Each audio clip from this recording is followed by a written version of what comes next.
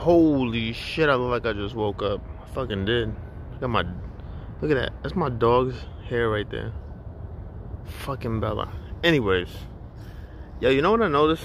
So I downloaded the BBC app yesterday. And I downloaded like uh, CNN, Fox. Just want to keep up with the news, see what's going on.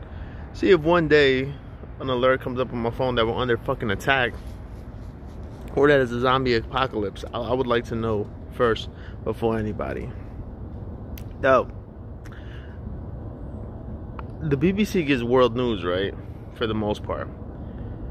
Yo, they gave a lot of interesting news yesterday.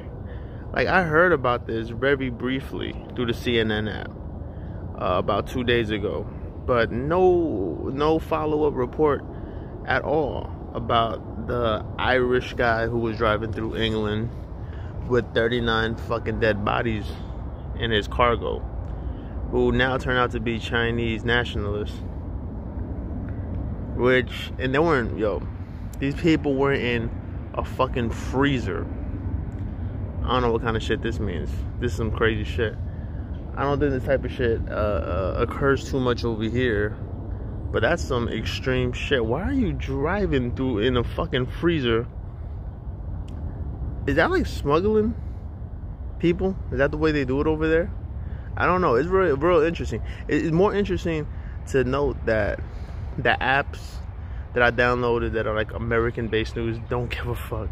There was no follow up, and the BBC was just quick as hell with like I guess because it's happening over there. I don't know, but then I read some other news over there about South America and all this shit, and they were pretty. Like, I got a white head right there. This is real shit.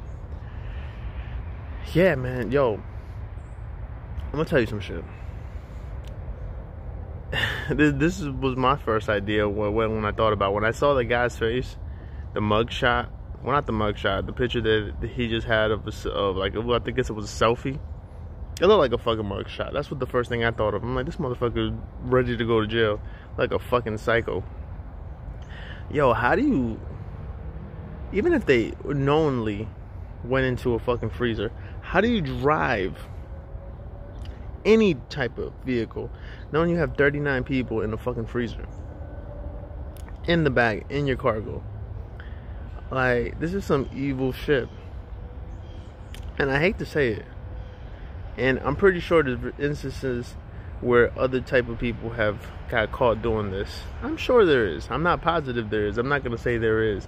But I'm sure if it does come up, I wouldn't be surprised. But this motherfucker, yo. There's something special about these type of people. Read into what I'm saying. I don't want to say it. That yo no heart no soul yo. You just see it in their eyes. Like what the fuck? Who yo who would take that kind of fucking job? How much are they paying for you to do some shit like that? Is it can't be worth it to put that many human lives at risk.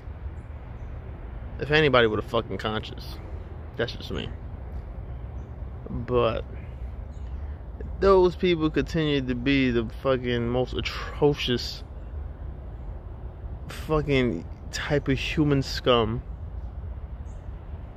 when they want to be. Hope not all. It's something deep in their fucking DNA, man.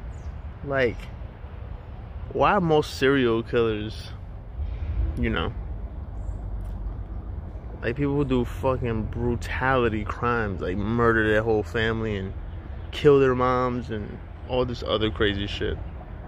I'll just never understand that. I'm not saying all. It's impossible. You can't say all.